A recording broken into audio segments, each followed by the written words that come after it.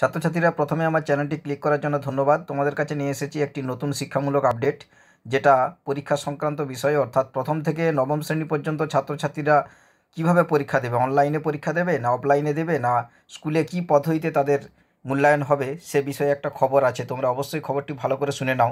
রাজ্য স্কুল শিক্ষা দপ্তরের প্রথম থেকে নবম শ্রেণি পর্যন্ত কীভাবে ছাত্রছাত্রীদের মূল্যায়ন, তা নিয়ে বিস্তারিত নির্দেশিকা দিয়েছে। তো এই সংক্রান্ত খবরটি উঠে এসেছে স্বর্ণ বাংলা নামক একটি অনলাইন পত্রিকা।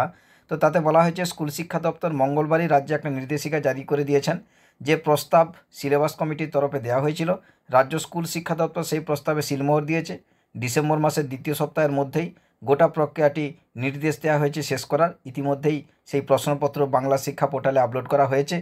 নির্দেশিকায় বলা হয়েছে, প্রথম ও দ্বিতীয় শ্রেণীতে তিরিশ নম্বরের বিষয়ভিত্তিক পরীক্ষা হবে। তৃতীয় থেকে পঞ্চম শ্রেণি পর্যন্ত পরীক্ষা হবে। প্রত্যেকটি বিষয় চল্লিশ নম্বরের। ষষ্ঠ থেকে নবম শ্রেণি পর্যন্ত পরীক্ষা হবে পঞ্চাশ নম্বরের।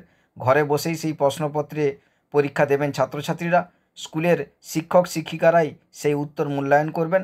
তাতে যে নম্বর হবে রাজ্যের পক্ষ থেকে জারি করা নির্দেশিকায় বলা হয়েছে, সেই নম্বরটি চূড়ান্ত নম্বর হিসাবে ধার্য করা হবে।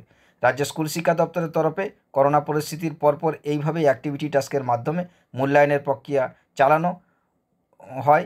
প্রথম থেকে অষ্টম শ্রেণি পর্যন্ত, আর যদিও এক্ষেত্রে অ্যাক্টিভিটি টাস্কের মাধ্যমে নবম ও দশম শ্রেণির মূল্যায়ন কথা বলা হয়েছে। ধন্যবাদ।